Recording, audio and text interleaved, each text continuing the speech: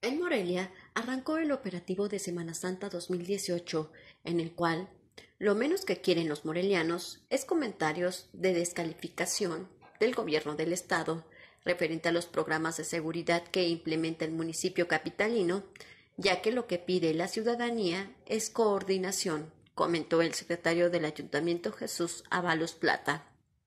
Pese a los dimes y diretes, el Ayuntamiento de Morelia trabaja organizadamente con los tres órdenes de gobierno, con la finalidad de garantizar el orden y la seguridad de los ciudadanos y turistas.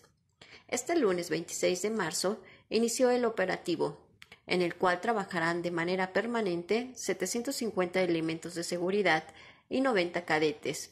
Eso en las salidas de la ciudad y durante los días santos en el centro de Morelia.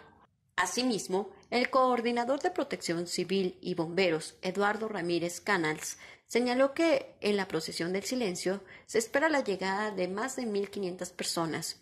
Por eso, junto con la Cruz Roja, habrá tres ambulancias, una motobomba y una pipa de agua, así como 13 elementos de la Corporación de Prevención.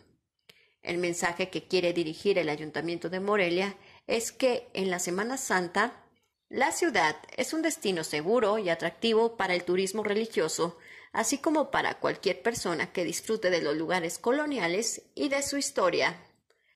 Carla Yala, respuesta.